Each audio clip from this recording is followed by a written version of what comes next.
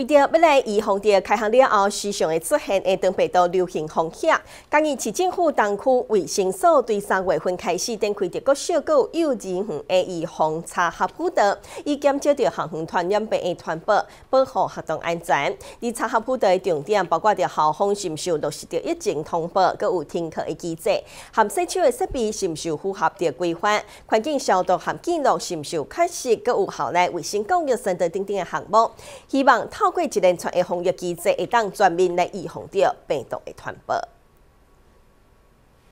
每当下三月份下旬开始就进入当病毒的流行期，到五月底至六月中旬达到高峰。江义市东区卫生局特别对开学了后的三月份开始就增进幼儿园，更有各式的校来宣导。因为当病毒的传染力增强，在家庭和通育机构内底上更容易传播。从去年的下半年开始。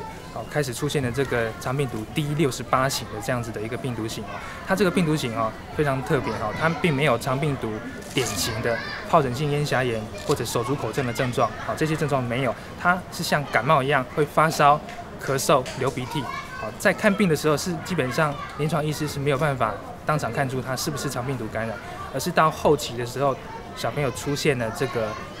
肢体无力或者是肢体麻痹的这些神经症状的时候，才发现发觉这是肠病毒的感染，而且这个时候已经产生哦有点不可逆的这个后遗症，啊需要长时间的复健，所以这一点哦是需要让每一位家长哦和学校里面的老师特别知道、特别小心的。不管得的是什么病，只要有发烧、疑似感冒的症状，即便不是肠病毒，都要小心，有可能是肠病毒上升。透过校园的洗手设备、环境消毒，搁再加上正确的洗手五步骤，全面来预防掉等病毒的传播。我们有在呃定期的在课后的时间，呃利利用呃无用使用五百 ppm 的消毒水，呃五百 ppm 就是呃一千呃一千。